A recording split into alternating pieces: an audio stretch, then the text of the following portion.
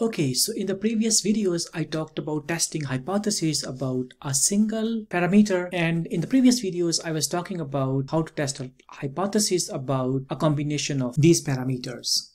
And in this video, I'm going to talk about the overall significance of regression model. And sometimes the focus of our analysis would be to know whether all of these variables as a group have any impact on y. That is, we'll test whether each of these coefficient value is equal to zero. So our null hypothesis would be none of these variables have any impact on the y variable. That is x1 x2 up to xk, they do not explain any variation in y. And obviously our alternative would be h, h0 is not true. So in this case, we will be estimating two models. We're going to estimate our unrestricted model, which will contain all the variables. And then we're going to regress a model with only the intercept in it. And we are going to impose all these restrictions on this model.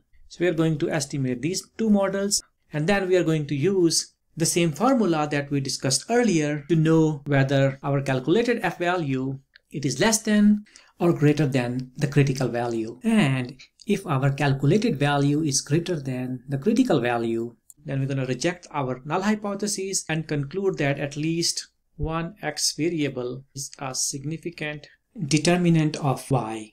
So this will be our conclusion. So this is very helpful uh, because in some of the situations we may be interested in knowing that all independent variables are jointly significant or not.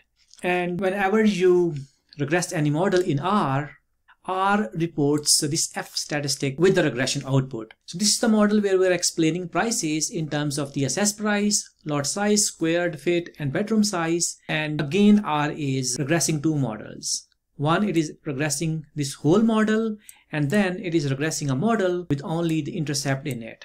By imposing the restriction that none of these variables are statistically significant and then using the same formula that I showed you earlier it is calculating this f stat value. And what we can do is we can um, calculate the critical value using this function qf and the first argument is our level of significance. The second argument is the number of restrictions and in this case there are four of them and the final argument is the degrees of freedom, which is 83. So we can calculate the f value, which is 3.55 and our calculated value 70 it is much larger than our critical value. So we're going to reject the null hypothesis that all of these variables are jointly insignificant in explaining variation in house prices. And we are going to conclude that at least one of these is statistically significant.